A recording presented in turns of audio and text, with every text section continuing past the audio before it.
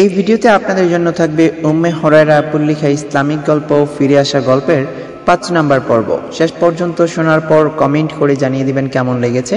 ভালো লেগে থাকলে একটা লাইক দিতে ভুলবেন না। তো চলুন, কথা না বলে সরাসরি গল্পে চলে যায় মাহিন বলল, কেন? কি হয়েছে? তুই বোকার মতো হাসছিস কেন? আমার কিন্তু এবার রাগ হচ্ছে। হাসবো না তো কি করব?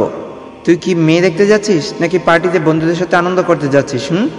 যে ছিঁড়া ছাড়া প্যান্ট পরেছিস, এই কালারের শার্ট কেউ পরে? এই, তুই গাইয়াদের মতো সব কি বলছিস? স্টাইল ভুলে গেলি নাকি ওই পরেশগার মেয়ের মতো?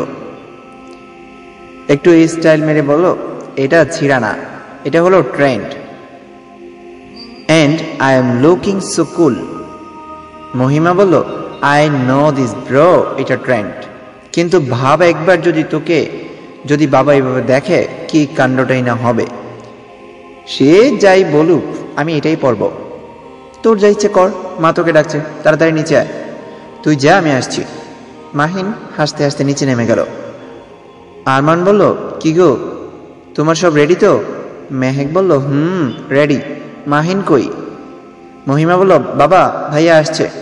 ওদিকে আরমান সাহেবের তাড়া দিচ্ছে, তাড়াতাড়ি বের হওয়ার জন্য। বড় ভাই বলল কিরে আরমান, তাড়াতাড়ি কর, নয়তো পৌঁছতে দেরি হয়ে যাবে। পথটা তো অনেক দূর, তাই নাকি? এর মধ্যেই মাহিন নিচে নামলো। সবাই তার দিকে হাঁ করে তাকিয়ে আছে। আরমান সাহেব তো রেগে কটমট করছে। আরমান বলল, মাহিন, এসব কি পড়েছিস তুই?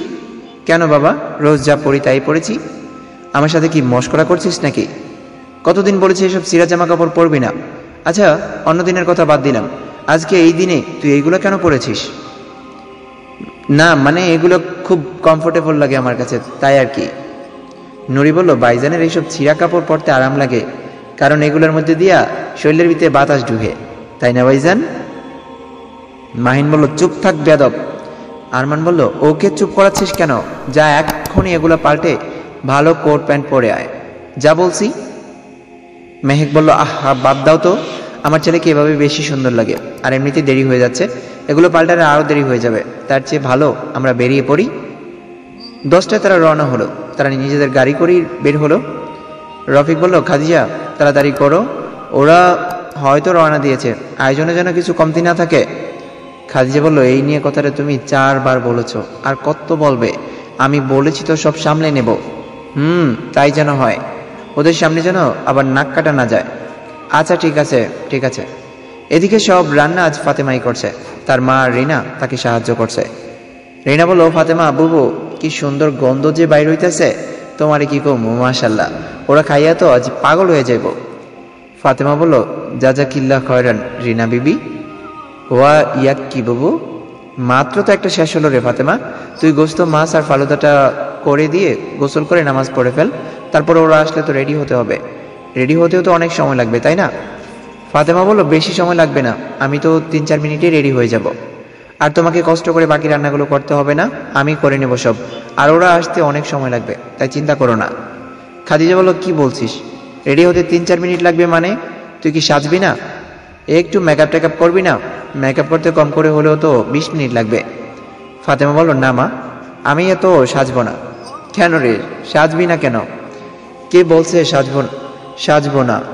হবে বিশ মিনিট ধরে মেকআপ ধরে আমি আমার আসল চেহারার বিকৃতি নষ্ট করতে চাই না। কেন রে মা? সাজলে তো আর গুণা হবে না। ফাতেমা বলল, আমি যদি এত সাজি, তাহলে আমার আসল চেহারায় বিকৃতি হবে আর ওনাদেরকে ধোকা দেওয়া হবে। আমি যেরকম আল্লাহ আমাকে যেভাবে বানিয়েছেন, আমি সেভাবেই নর্মালভাবে ওনাদের সামনে যাব। খাদিজা বলল, এত কিছু বুঝি না রে মা। তুই ভালো মনে করিস, যা তাই করিস, আমার কোনো আপত্তি নেই। আচ্ছা মা, ওনারা কে কে আসছে? খাদিজা বলল আরমান ভাই, ওনার ছেলে, মেয়ে আর ওনার বউ। আর হ্যাঁ ওনার বড় ভাই আর ভাইয়ের ছেলেও আসছে। কেন? কি হয়েছে? ফাতেমা বলল, হে আল্লাহ, একটা কথা তো বাবাকে বলতে ভুলে গেছি। কি কথা? ফাতেমা বলল, মা, ওনারা যদি আমাকে ওনাদের সবার সামনে যেতে বলে, তাহলে আমার কি হবে? বুঝতে পেরেছি। ফাতেমা বলল, মা, তুমি বাবাকে তো চিনোই। বাবা যদি বলে, আমাকে বাবার সাথে কথা বলতে হবে। মা তুমি একটু এদিকটা সামলাও, আমি একটু বাবার সাথে গিয়ে কথা বলি। খাদিজা বলল আচ্ছা যা। বাবা? ও বাবা। ভয় ভয় ফাতেমা তার বাবার কাছে গেল। রফিক সাহেব বলল, কি হয়েছে রে মা? ফাতেমা বলল, একটা কথা বলার ছিল বাবা। তুমি কি কথাটা রাখবে? রফিক বলল, এইভাবে বলছিস কেন রে মা? বল কি বলবি? আজ তুই যা চাইবি, আমি তোকে তাই দেব। না মানে বাবা, মা বলেছে ছেলে পক্ষ থেকে ছেলের চাচা আর চাচা চাচাতো ভাই আসছে। হুম, আসছে তো। এখন কি বলবি বল? না মানে বাবা ওনারা যদি ওনাদের সামনে আমাকে যেতে বলে, আমি কিন্তু যেতে পারব না। আর আমি আরমান চাচার সামনেও আজ যেতে পারব না। আজকের দিনও তুই এমন করবি? আর মানুষজন কি পাত্রী না দেখে বিয়ে করবে নাকি? আর আজ আরমানের সামনে না যাওয়ার কি আছে? ও তো তোর শ্বশুর হবে। তুই তো বলিস, শ্বশুরের সামনে পর্দা করতে হয় না। আমি শুধু আরমান চাচা, ওনার ভাই আর বাতিজার সামনে যাব না। কিন্তু ছেলে অর্থাৎ যার সাথে বিয়ে ঠিক হয়েছে, তার সামনে যেতে পারব। আর ছেলের মা, বোন তো আসবই সাথে।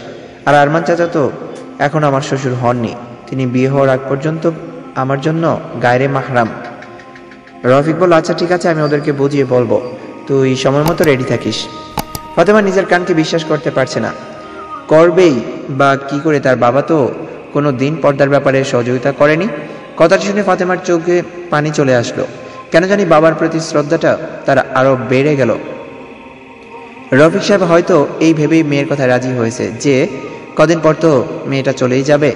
তার এই ছোট্ট আবদারটা না হয় মেনেই নেওয়া যাক। ফাতেমা বলল, সত্যি বলছো বাবা? রফিক বলল, হুম, সত্যি। এবার যা, তোর কাজগুলো সেরে নে। জাজাকাল্লা খয়রান, বাবা। এই বলে চুপ মস্তে মস্তে ফাতেমা রান্না করে গেল। খাজিয়া বলল, কি রে, তোর বাবা কি বলল? বাবা বলেছে, ওনাদেরকে বুঝিয়ে বলবে। খাজিয়া বলল, আলহামদুলিল্লাহ। এবার খুশি তো? যা, এবার তাড়াতাড়ি কর। কিছুক্ষণ পর জোহরের সময় হয়ে যাবে। ফাতেমা বলল, হাতের কাজ প্রায় সবটুকু শেষ করে গোসল করে নামাজ পড়তে গেলে? আর সাথে মা রিনাকেও নামাজ পড়তে বলল, নামাজ শেষে আল্লাহর কাছে শুক্রিয়া আদায় করল ফাতেমা, আর বাবার হেদায়তের জন্য দোয়া করল। হে আল্লাহ, আমার বাবাকে হেদায়ত দান করো। তুমি আমার পরিবারের সকলকে হেদায়ত দান করো, কারণ তুমি তো হেদায়তের মালিক।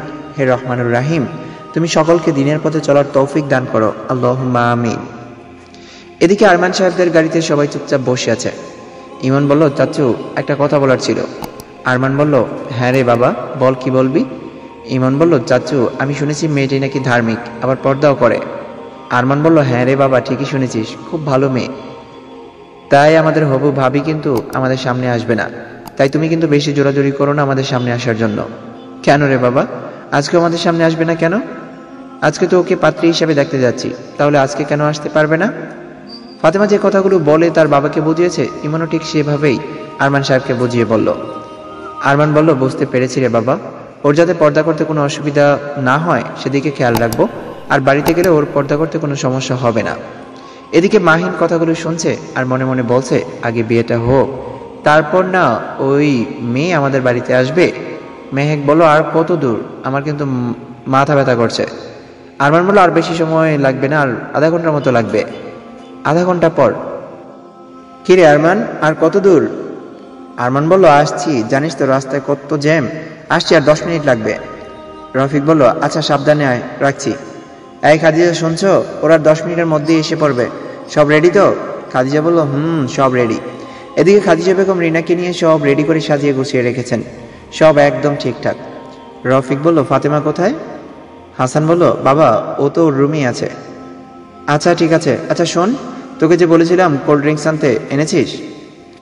না বাবা, পুচকি বলেছে ও নাকি শরবতের ব্যবস্থা করেছে, তাই আর আনি নাই।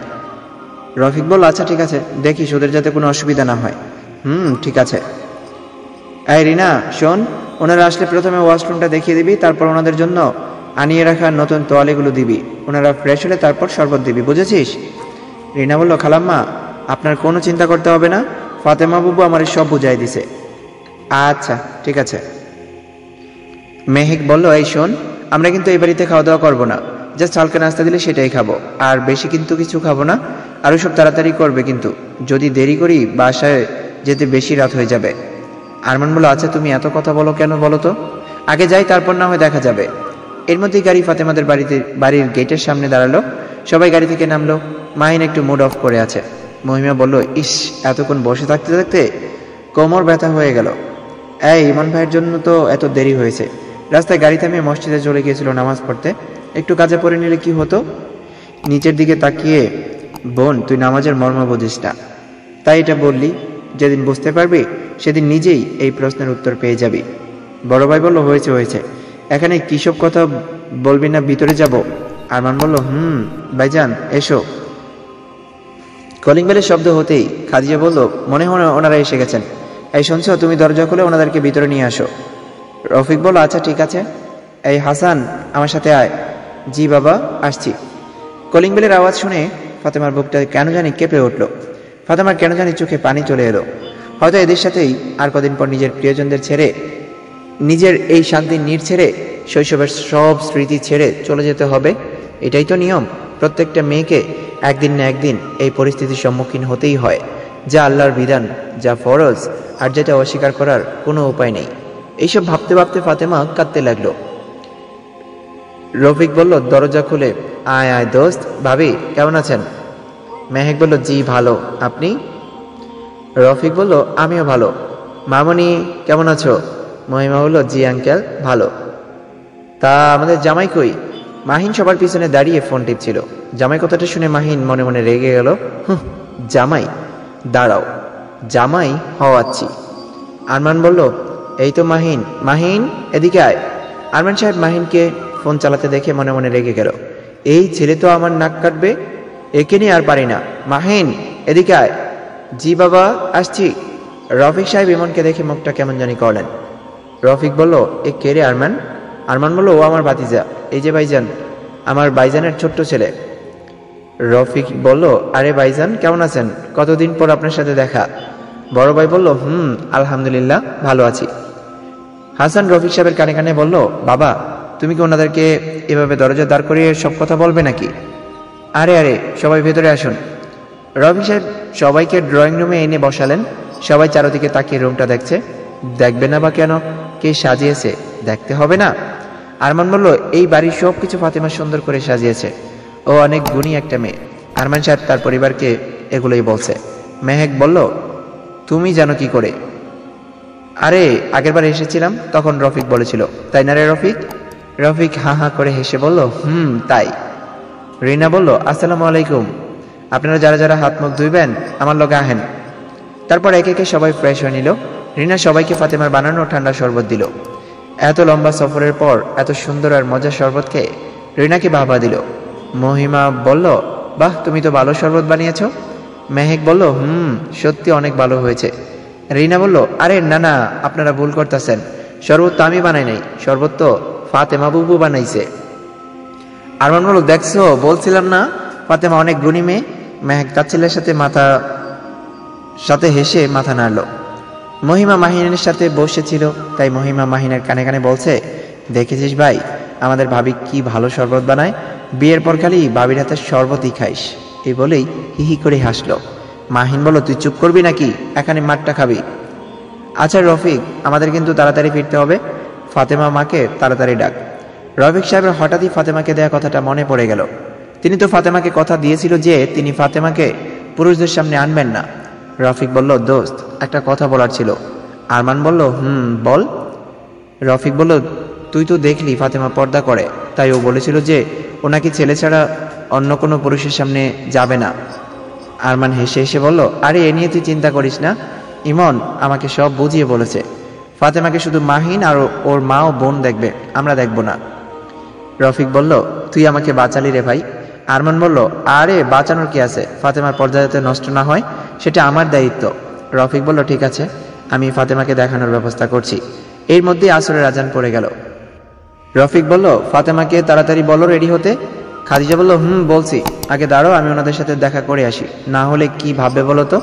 এই বলেই খাদিজা বেগম সবার সাথে দেখা করে আসলেন। তিনি তারপর ফাতেমার ঘরে গেলেন। গিয়ে দেখেন ফাতেমা নামাজের জন্য উজু করে তৈরি হচ্ছে। খাদিজা বলল, কি রে মা? ছেলে, ছেলের মা আর বোন তো তোকে দেখার জন্য তারা দিচ্ছে।